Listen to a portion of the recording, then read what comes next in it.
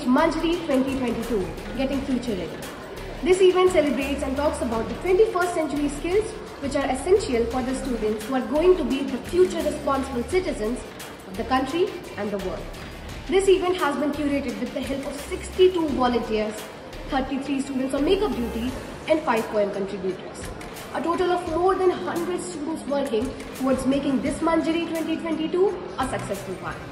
The stage is set, the students are prepared and we are all ready to welcome you all. Be there on 28 December at 1 pm at Sunbeam Suncity. We will be waiting for you.